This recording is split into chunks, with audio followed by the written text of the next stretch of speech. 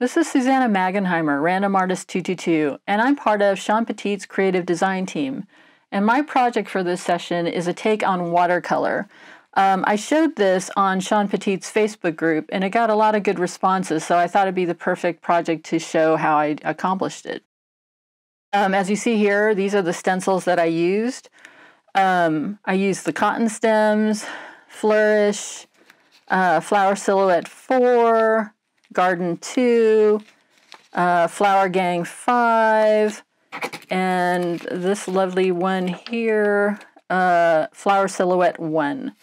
And I put these together in a way that it would give me the effect of a floral bouquet and um, something that, like I said, crosses over from watercolor to those old masters oil paintings. Not that I'm anywhere near good as that, but just that effect um, inspired me. You're going to need the stencils or um, and you're going to need some sprays. And I'm using most of the Lindy Stamp Gang sprays this time. But any spray, anything you like works. So don't feel like you have to use these colors to make the effect happen. Um, I'm using some ink pads to add some dimension later on and also some dimensional glues. So let me bring, let me clear this up and then I'll be right back to show you what we're going to create. Okay, so here's the inspiration piece, and it's not the original because I gave my mom for Christmas the original. She adores poinsettias. And I have to say that Shawn's probably got some of the prettiest poinsettia stencils out there. Um, and they can be manipulated in many ways. This print that I did um, is pretty accurate to what I gave my mom. Um, you can see here the um, dimensional, let me just put this down. See that effect, that dimensional gold that I put in the center? That's actually watercolor that I put around it to give it some more dimension. Um, and what I'm trying to show here in this project is how I created the speckling effect, um, stippling, whatever you want to call it, a take on pointillism. I like the fact that if you look here in the light, none of the glare is going to get, you see how the way I sprayed it created these speckles, um, the pointillism effect, and kind of disappears into the background. And I love that effect. And um, it was one of those, um, what I call happy accidents. Um, and then it's a matter from there, layering how much you want to do. Now, this I would call my elegant version. It's the way it is. It's I added a little bit of highlights throughout the piece with pastels and other um, inks and things that I'll show you as well. But you could also have taken this and, you know, created your own um, outlines, doodles, whatever you want to take it to a different level. So um, it's a very unique project in the sense that you can go from something super elegant to something very mixed media, whimsical kind of. So let me show you how I do this. So here's some of the initial things um, is watercolor paper. I like the watercolor paper because of the way the sprays diffuse on them. Um, you could do this on hard, uh, well, hard um, paper as well, non-watercolor paper, I should say.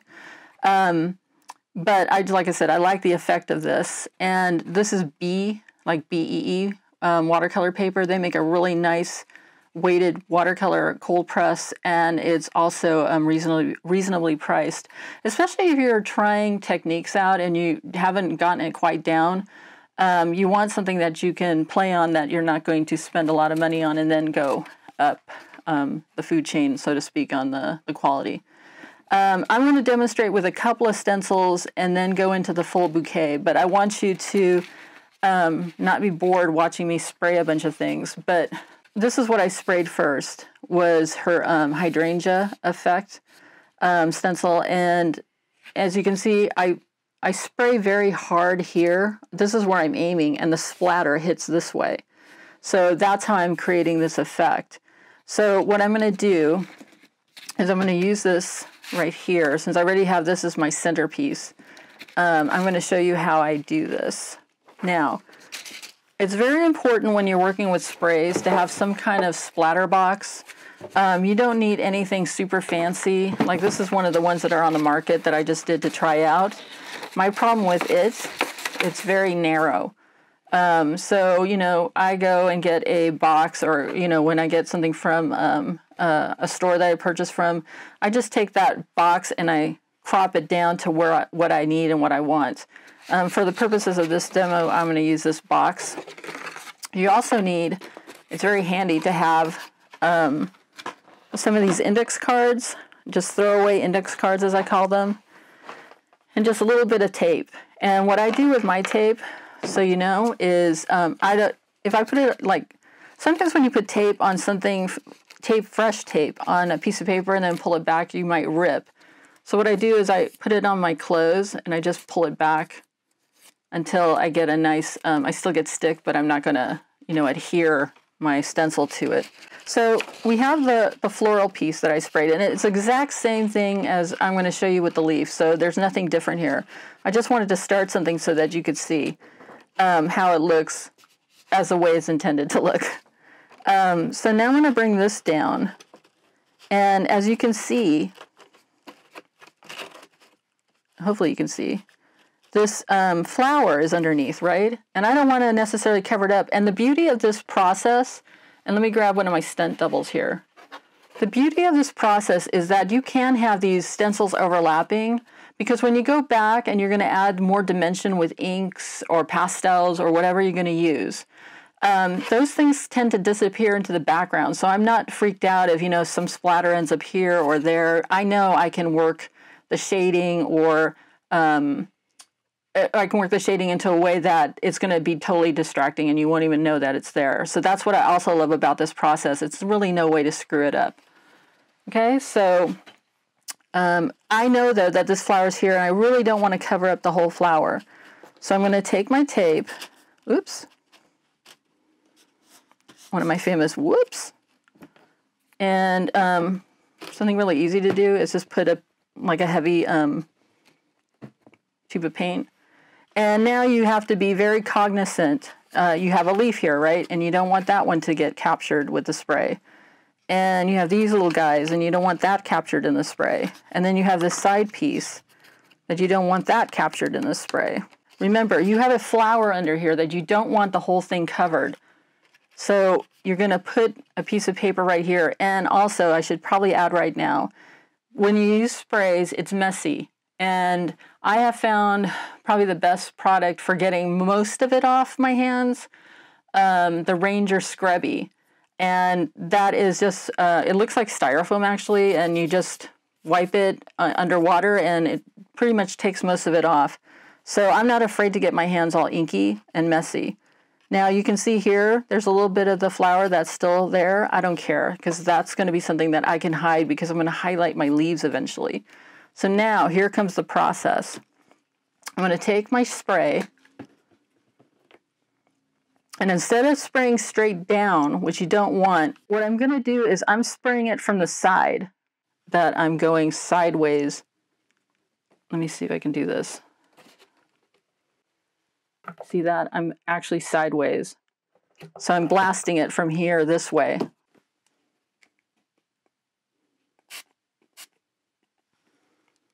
Okay, and I'm looking over it just to make sure, and the greens hit everywhere, and just a little bit of green on the top, which is exactly what I want.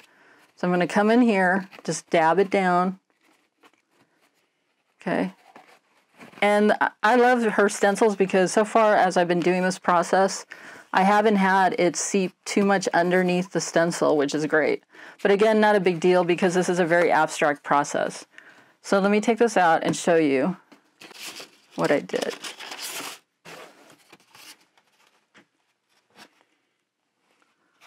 So you see here, the strongest part of the spray blast was here, and it's a little bit random, but for the most part it's at the base. And then I got the speckle effect up here and into even this lightest piece here. So that's what you're after. Again, let me show you down here. That was the hardest hitting point of the spray as it goes this way. And I end up with that lighter spray effect, that little speckly goodness. Okay? All right, so now let me show you the next part. We don't need, once you spray all your flowers and everything, you don't need that box anymore. She has what I call it, well, what she calls a flourish stencil. And this is when, well, once you have all your flowers put out the way you want, and let me show you one of my stent doubles to show you exactly what I mean. well, this was a stump double, sorry. So in this case, I have a leaf here, I have the centerpiece here, and I'm just trying out different doodles and things over here. But basically, like I said, you're setting up your your um, your elements. And what I wanted to do, and I'll just do it on this one, is I wanted to create some kind of ethereal sticks kind of thing in the piece. So I'm grabbing Coffee Archival ink, which is the best inks to use because they do not run. And um, they play very nice with all mediums. So they're my go-to. But let's say here, okay, I have this space now right here. And instead of putting a leaf or another flower, what I'm going to do is I'm going to put this here. Okay. So I'm just going to very lightly use a light hand because, you know, it depends on what you want. Okay. And you want to see where it's going to hit underneath. Okay. So this is a very light touch. I'm going to do it like this so you can see. Okay. And to me, that looks really cool. It's in the background. It's it's a nice little focal piece. Um, it doesn't um, get too busy with the the overall um, thing that I want to do. Um, over here, I have a little spot, so I'm going to bring over anything that kind of in this stencil, the floor stencil, that looks ten like tendrils, like vines, like sticks. And I have this one here that looks like a tendril.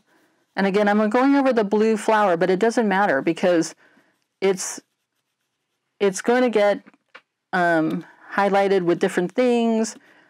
Um, parts of this are going to disappear in the way you highlight the pieces below it. And again, just use a very light hand. I went a little heavy there, but let's make this one heavier just so you can see the difference.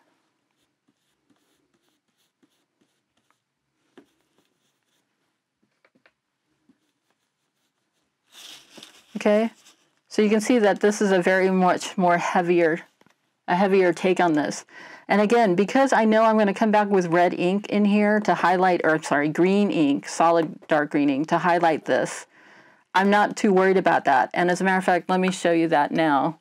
Okay, so we had just put positioned this um, vine, like I said, out of the flourishes so that um, it gives that effect. Uh, and I'm going to bring back one of my stencils. Because I want to show you how you make that disappear now. So you don't have to worry when you're doing this, this, this technique.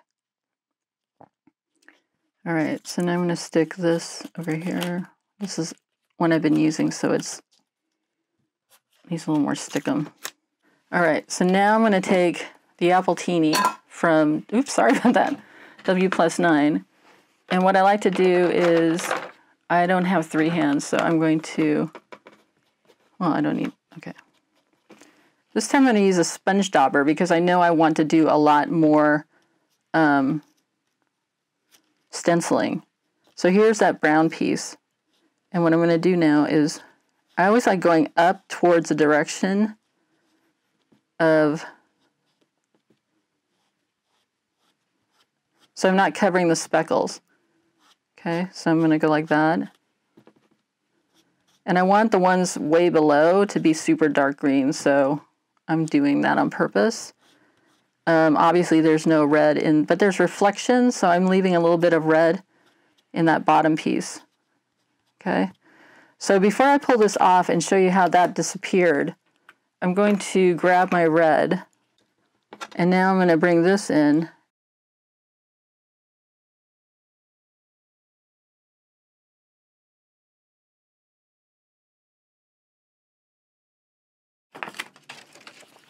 I can show you here. I covered that up, so now I have my green base of this hydrangea. And then that vine that I created that effect on, it pretty much disappears here, right? Because the green is now covering that. And it pushes this flower into the background. So it's just a matter of how you play and what you want to do with it that creates your, um, your dimension. I do have a stent double of one where I went and highlighted a lot of these flowers that I'll show you right now so you can see how effective this technique is. See, here's the browns, the twigs effects. You don't even see them going into, you know, like here, there was some blue overlap in the blue um, delphiniums, and um, you can't even see it because I went and added a little bit more darker ink in here. But I still, I'm going to try to get in close. Okay, I still got the effect of the speckles. I don't want to lose that. That's the whole point of this um, technique. And if I wanted to, I could go back and make these leaves even darker if I want them to look like they're in the foreground or in the background. But I was really happy with the way this one came out. So this is the one that I'm going to take to the next step. Okay, so the final part of this is I'm going to show you how the watercolor effect happens. Now I showed you my stunt double here where I've already added all the highlights to it, the, the flowers themselves. This is just the first step in the highlighting of them. Um, the second part is creating depth in them. And what I like to do is I use some um, Payne's Gray from Dr. P.H. Martin's uh, Fine Art Watercolor. And I'm going to just put a little bit of water here.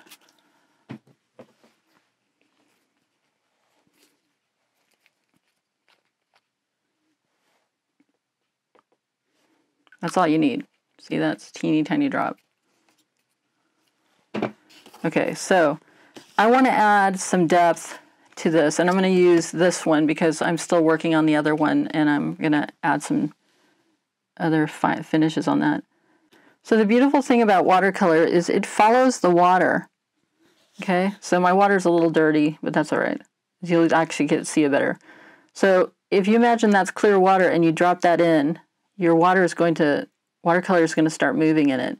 And it's not going to go beyond where the water is. If you find that your color is too heavy and you're not happy with it, you tap it and it'll pull most of it off.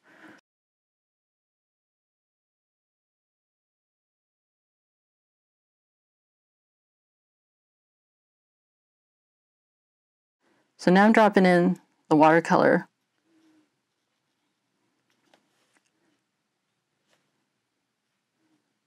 Oops. And it's going to follow those paths of the water that I just laid out. See how that's going just along. And it's a little dark, so I'm going to bring that out a little bit.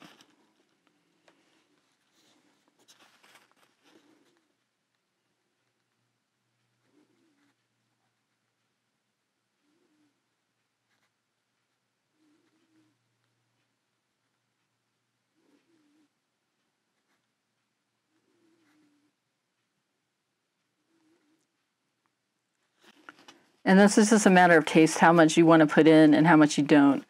In my um, in my original art piece, I just wanted enough in the centers to create that kind of a depth to it. The shadows that would be way deep in the in the background. I didn't put it all throughout the petals. So again, those are choices you make as you create your pieces.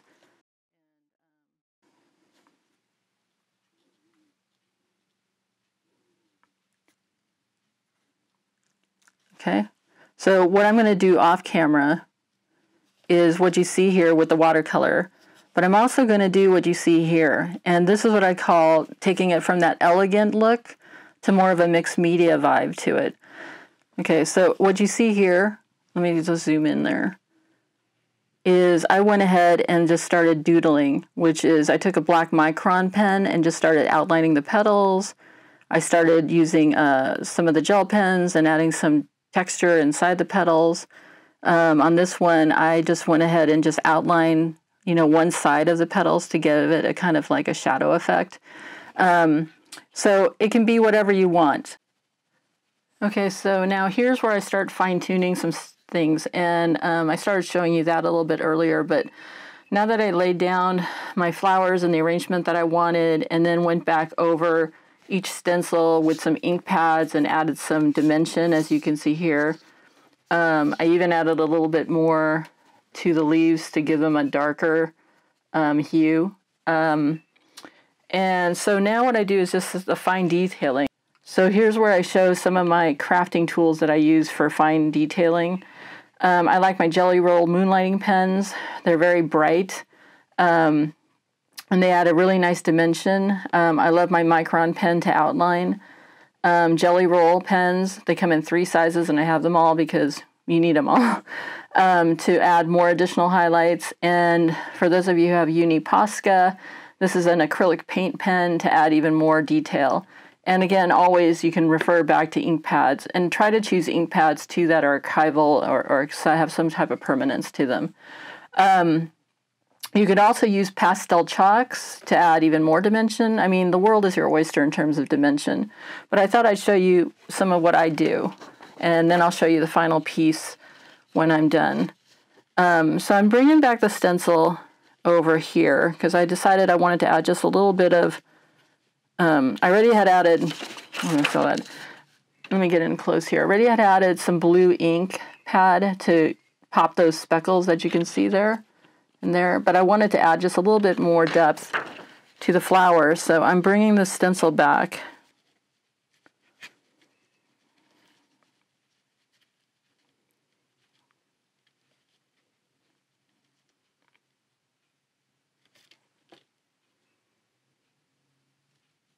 like so. Oops. Okay. And normally I would tape it down, but I'm just doing very, very light um, enhancing. So I'm just going to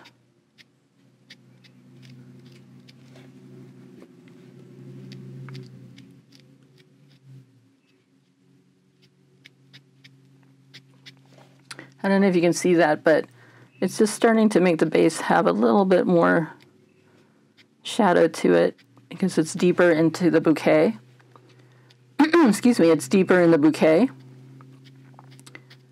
So I'm just adding that little addition and you can see, excuse me, you can hopefully see how that adds a little bit more dimension to it. Okay. Um, one of the other things I like to do is with my micron pen. And you don't have to be perfect on this. Um, again, it's your piece. It's up to you what you want to do. So as you see here, I just outlined that. Uh, and then I'm going to do this petal really quick because I'm going to show you two different things.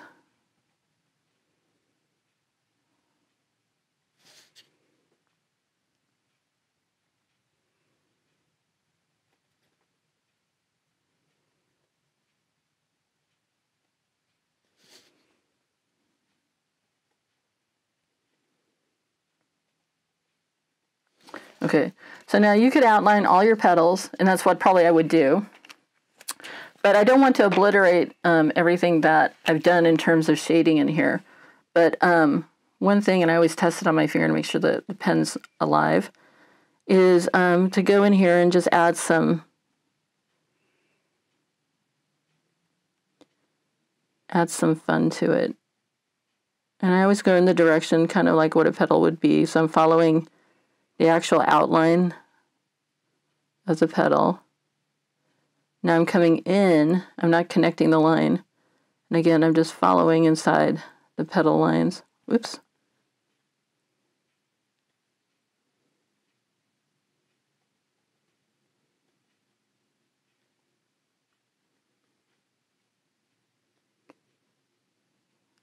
I have something that I'm really happy with. And then what I do is I can come back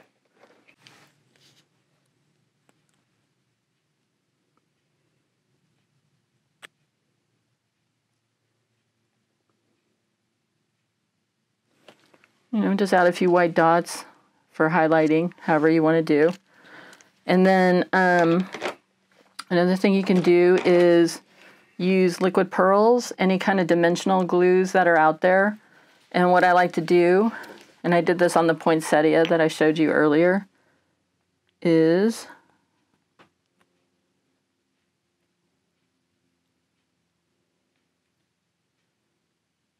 come in here and just set them up.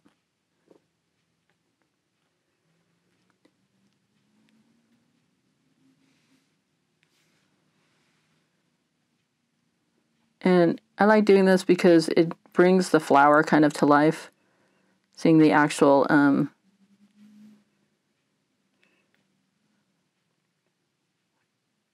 little bloom things. And this, I like these liquid pearls because you can go really small.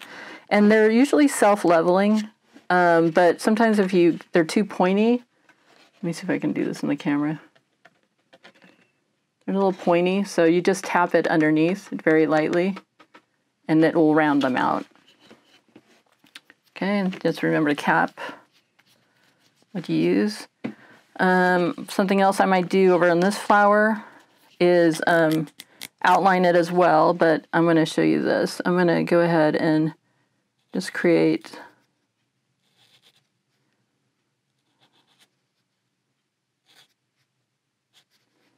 these little pops in here.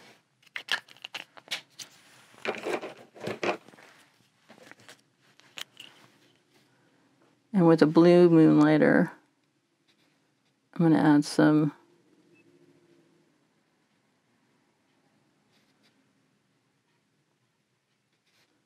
just a little outline.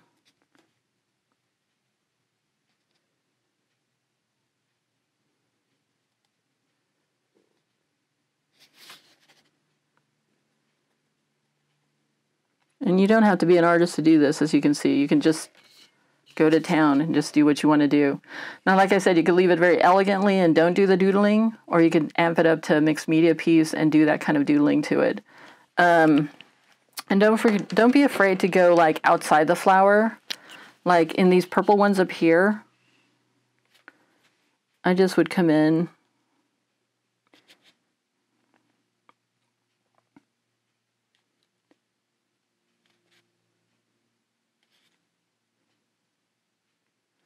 and give the illusion of those pollen pops or whatever you call them, you know, coming out of the flower. Um, I could also choose a different color and um, come in here. Just add again some little highlights. At the very end of this whole thing, you're going to sit here and go, well, what are you going to do with all this white spot, all this white background? And personally, some of it I'm very happy with, um, but you can um, do this. If you want a little bit more, you, if you don't want to add like a deeper purple in there or a lighter purple watercolor or whatever you're using, pastel, um, you can take, in this case, this is Glimmer Mist from Tattered Angels, um, vintage paper. And it's a very, very soft, soft, soft, soft beige. And I don't have my box, so bear with me here. But what I would do at the very end when everything's done is just, well, one, I always test spray off to the side just to make sure it's coming out powdery. Okay, and I take a damp cloth, a damp cloth, I'm sorry, a dry paper towel, and you can see now I've actually added background to my piece so that it's not a stark um, beige or whatever you want to call this off shell, eggshell kind of background. Um, so that's one way to do that to add even more dimension to the whole piece. Um, and when I come back, you'll see the final product with all this applied to it. So that's what I've got for you. Remember to please subscribe, comment. Um, if you found this inspiring, I really appreciate the subscriptions and um, have a great day.